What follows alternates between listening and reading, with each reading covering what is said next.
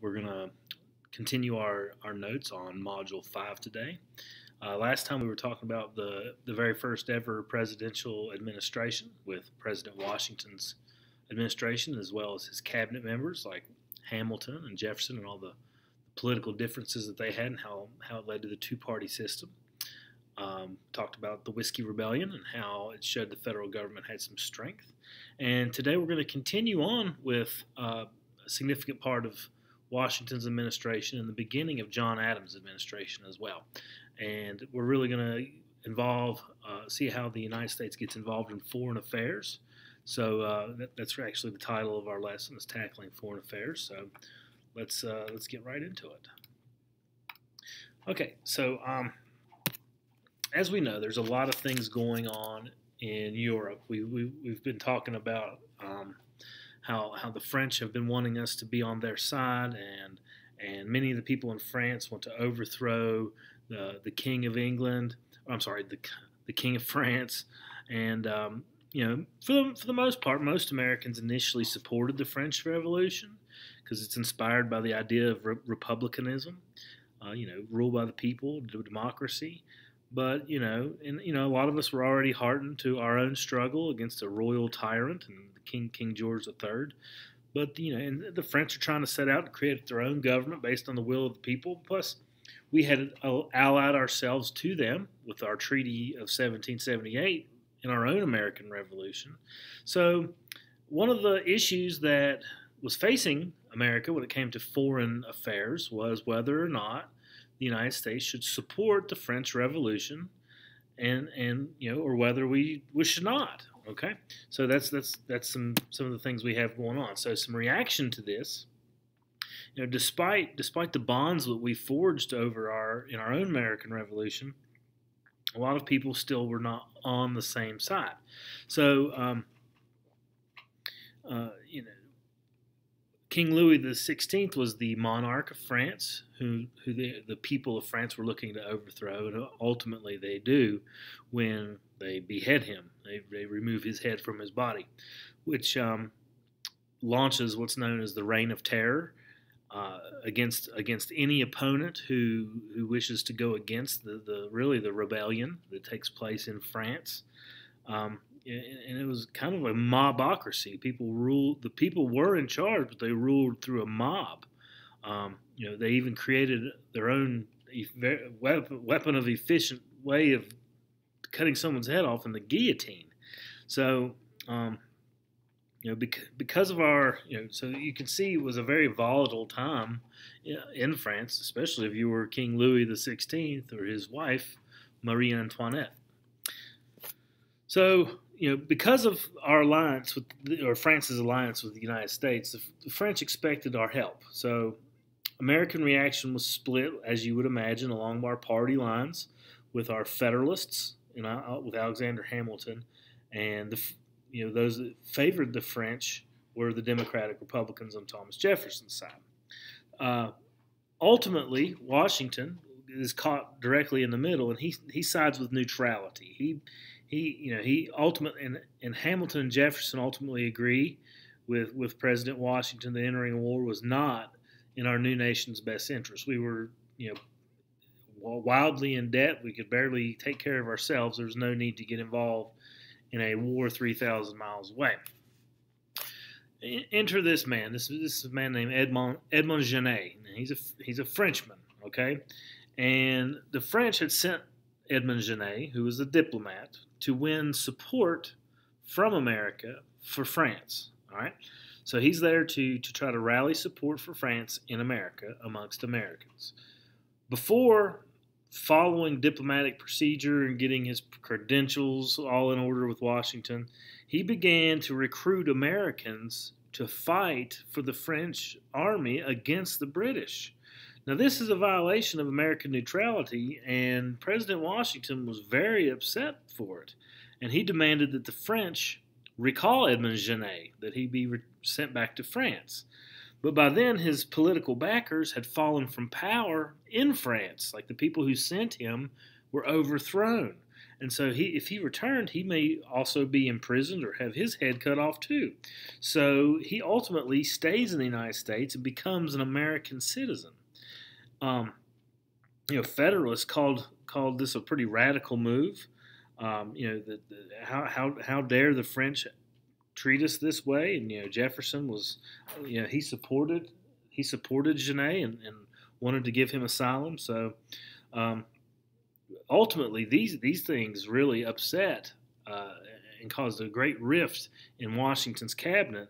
And and Hamilton, um, you know, Je- Jefferson ultimately resigns from his job as Secretary of State in the year 1793 over over this really the scandal this this that happened with uh, I have citizen in quotation marks because he does become an American citizen, uh, Edmond Genet. All right, so now more foreign affairs. France and England are not the only countries that are watching America with close eyes. Uh, as we American citizens are, you know, we have our eyes on land that west of the Appalachian Mountains, since it now belongs to us as a result of the uh, Treaty of uh, Paris, which ended, you know, the American Revolution. And we also want to keep our shipping rights on the Mississippi River. But to do this, we had to come to an agreement with Spain because Spain still held a significant portion of territory in Florida and a significant portion of territory west of the Mississippi River. Now, negotiations had stalled with, with Spain because of all the fighting that had been going on in Europe. But, you know, Spain had feared that the British would retaliate against them, and so they wanted to try to find an ally in the Americans against the British if, if the British did indeed try to make a move in their territory in, in North America.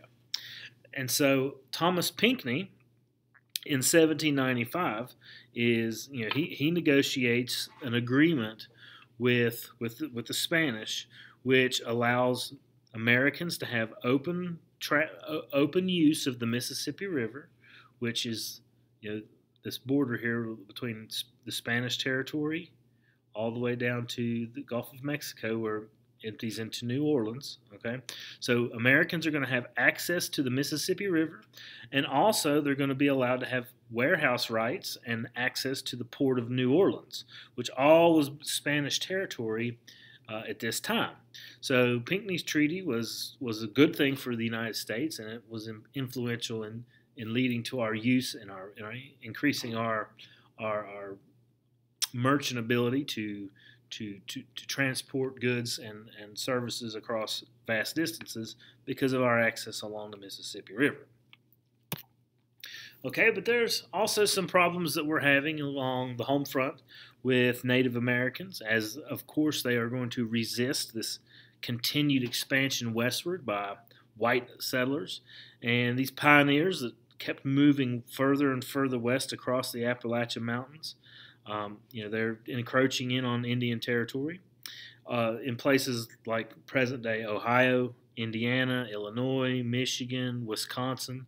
And uh, these people who are moving here are kind of in violation of a treaty uh, with the British because what the British had been they, after the American Revolution, they still had several forts that they maintained in this Northwest Territory, uh, in this blackened out area Ohio, Indiana, Illinois, Michigan, Wisconsin. this is part of Minnesota right here.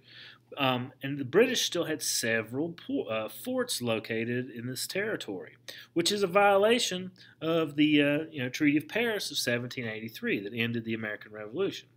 Well, um, you know, in addition to this continued British presence, the settlers here faced a lot of resistance from its original inhabitants, the Native Americans. So, needless to say, this area is going to be a hotbed for some violence to come in the future. Um, when it came to the Treaty of Paris, Native Americans were never even considered uh, in this in the, in the, provisions of that treaty. So, and they continued to claim their tribal lands, and they wanted to, uh, you know, continue to to live there. And the British people who were still residing here wanted them to do that. In fact, they they they armed them and they you know instigated them to go and to to cause problems with the the white frontier settlers that are coming moving westward across the Appalachia into this Northwest Territory. So when when white settlers moved into this territory, it was not an uncommon thing for Native Americans to attack them. To gain control over this area, which would eventually become Ohio, the federal government um, they wanted to a, send a message that this would not be allowed, and so um, one of the, the Native American groups that was there was called the Miami Nation, and their chief was a man by the name of Little Turtle. Um, and so the Native Americans met the United States Army in battle, uh, you know, at the Battle of Fallen Timbers, and this is where you know federal troops uh, were were basically sent in against the Native Americans, um, and and um, it was a it was a big victory, and this victory really crushed the spirit and also crushed a lot of the the lives uh, of the, the, the Indians, the Miami Confederacy that was there, and it stopped a lot of the resistance in Ohio. But um, this following this battle, the Miami Confederacy signs what's known as the, the Treaty of Greenville, which agrees to give up a significant portion of Ohio, most of Ohio actually, in exchange for twenty thousand dollars worth of goods and, and stuff, you know, meaningless trinkets, plus about $10,000 annually if these people would evacuate this area of Ohio. So they just they had to move on. They had to move on. Um, in the Northwest Territory, with the hand, you know, with using violence is becoming, you know, new sources is having new sources of conflict and the British are all the all the while instigating it. You know, they're, they're giving arms and ammunition to the Indians to to resist the, the American settlers there. So the British are doing everything they can to make it difficult for for Americans. Um, it's not, and it's not because they're you know they're in self righteousness wanting to help a you know, downtrodden people, which they were. They, they, there's no doubt about that. But um, eventually, this is going to lead to some more conflict with uh, between the United States and Great Britain. So, in order to try to avoid some of this conflict with Great Britain, we we send after the, after the Battle of Fallen Timbers, we send a delegate named John Jay. He was our Chief Justice of the Supreme Court at this time. Uh, we sent him to London to negotiate a treaty with Great Britain. And one of the disputed issues was the way in which we will control territory west of the Appalachian Mountains. So the British agreed to evacuate their posts in the Northwest Territory, and the treaty managed to pass in the Senate, but many Americans, especially Western settlers, were angry at its terms because it allowed the British to continue their fur trade in that in that area. So there's still going to be a significant British presence in the Northwest Territory in the United States. So a lot of people also did not like the idea of John Jay doing this treaty because it made us seem as though we are siding with the British over the French. So it seemed like almost to be a violation of Washington's neutrality. So once again, you see more criticism coming from the, the political parties, all politically motivated. Um, and this bitter fight over Jay's treaty, you know, had led, led the growing division between Federalists and the Democratic Republicans, and it even made President Washington not want to seek a third term in office. So, you know, even in his farewell address, he, he says he tells us to steer clear of these permanent alliances and warns us of the, the dangers of having political parties. But they are to this day still a major part of, of the American political system. So, so Washington chooses to not run again. He serves two terms and sets down, set, steps down, which sets a precedent of presidents only serving two terms. So, in the election of 1796, Americans faced a new situation. We have a contest between political parties.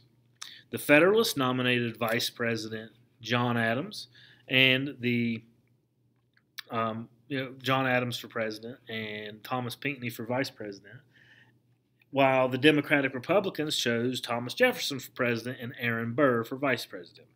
It was a very close election, as you can see. Uh, Adams ekes out a victory by a mere three electoral college votes.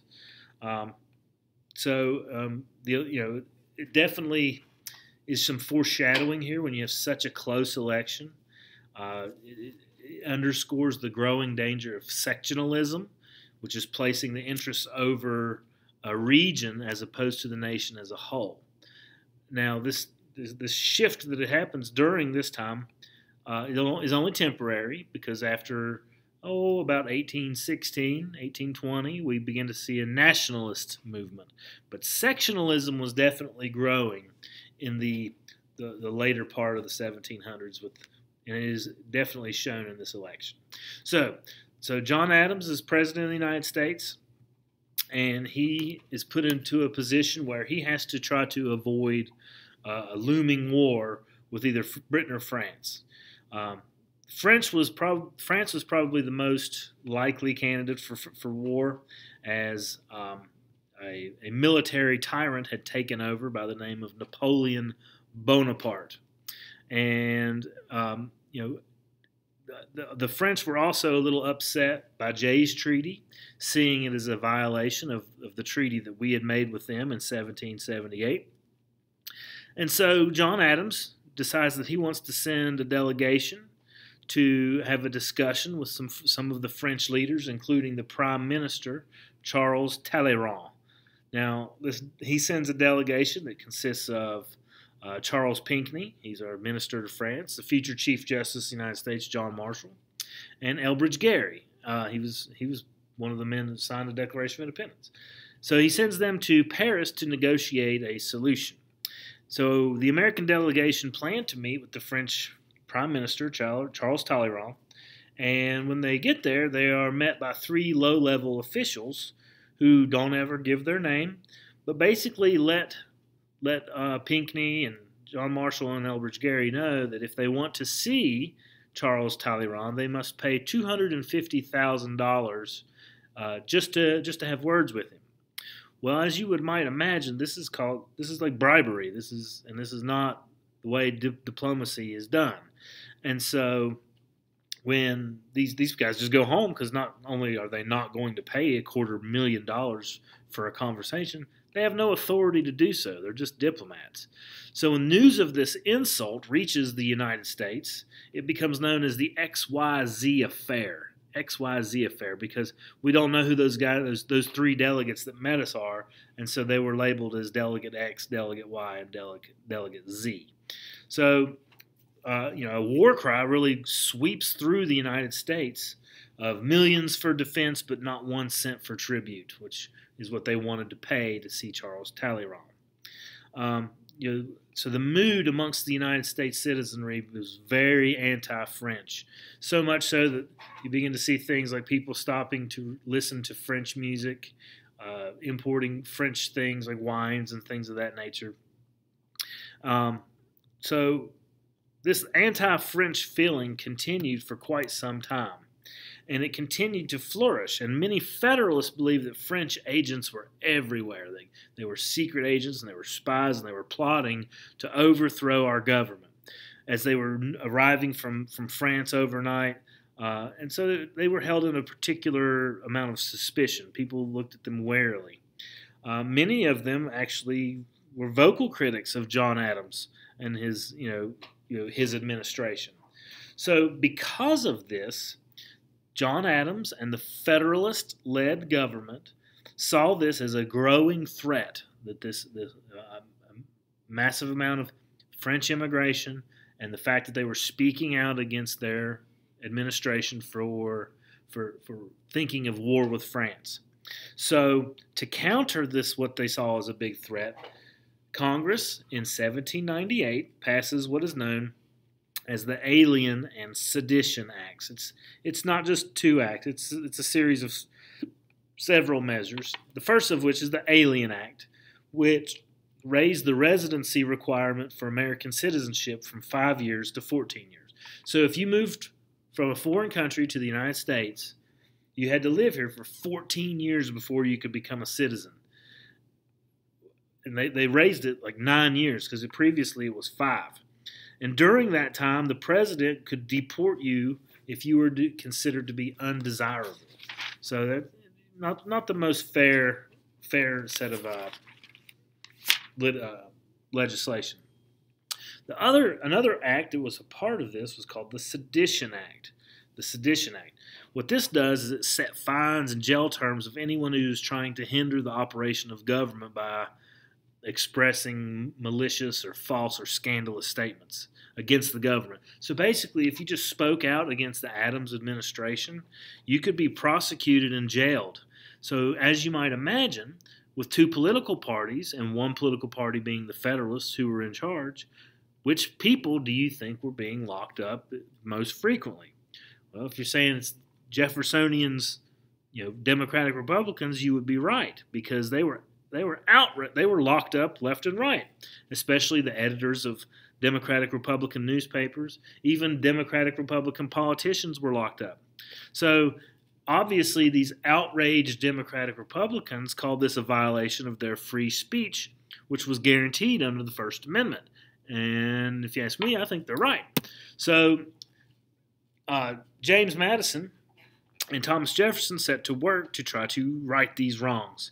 And they decided to organize opposition to the Alien Sedition Act by drawing up some resolutions called the Virginia and Kentucky resolutions, which were aimed at nullification. What their argument was is what was that the states, individual states, had the right to nullify or consider void any act of Congress that they think went against the Constitution. Uh, Virginia and Kentucky were two states that did this, and they argued that you know the, the Alien and Sedition Acts were unconstitutional violations of an American's First Amendment right to freedom of expression. So these resolutions also called for the states to adopt similar declarations. No other state did so, only Virginia and Kentucky. But nevertheless, these, these resolutions showed that the balance of power between the state and federal government remained a controversial issue, which who was going to reign supreme? Who's going to have more authority? Is it going to be the federal government or is it going to be the states? So this is a, a battle that you're going to see for quite some time in balancing the power between, you know, in federalism, the, the division of power between state and federal government. And finally, in the year seven, throughout the year 1799, George Washington was active in in American life. Uh, he wrote letters, he recruited possible generals, made plans for the army. But in December of 1799, he, he dies after catching a very bad cold, yeah, as he was an elderly man, uh, where he was, and then he was buried according to his wishes at Mount Vernon, which is just outside the, the city of Washington, in, in, Mount Vernon. This is his home site. Um, ironically, his death was instrumental in improving relations with France because Napoleon, for the first at the at the at this time first consul of France, not quite emperor yet, he hoped to lure American friendship away from the British and ordered French armies to observe 10 days of mourning for President Washington after his death. So soon, this this kind of little foreshadowing. So this that's a nice concession that that Napoleon makes, but pretty soon he's willing to give away, you know, several hundred thousand acres of land for pennies on the acre, and that's something that we're going to look at during the administration of the third president of the United States, and that is Thomas Jefferson. So uh, you know a lot of a lot of things happening early in our in, the, in American history, especially with the first couple administrations. We see some t- our Constitution being put to the test with the Alien and Sedition Acts, and ultimately we'll find out what happens with those because, in case you didn't know, they're not on the books anymore because the third president of the United States has a little something to say about that with Thomas Jefferson, and we're going to look at him in lesson three. So if you have any questions, or if there's anything I can do for you about your notes today, don't hesitate to contact me through Schoology, email, call the school, whatever you need. Um, I've changed rooms. So when you come back to school on Monday, I'll be in Mr. McLean's old room. It's room 39. Uh, it's beside Miss Jennings and across from Dr. Wood. So it's in the science wing, so it's a lot larger room. We'll you know, we'll, you'll have the same seats, but if you can't remember where you said, I have the seating chart. It's not a big deal. But uh, make sure you come here, and I'll, my other door will be locked, so you, you'll figure it out. Um, if there's anything I can do for you, don't hesitate to, to ask. And um, tomorrow you'll have your your Friday assignment. Make sure you get it done by the end of the day tomorrow. And uh, I hope you guys are doing well and taking care of yourselves. And I look forward to seeing you next week. So have, have a good one.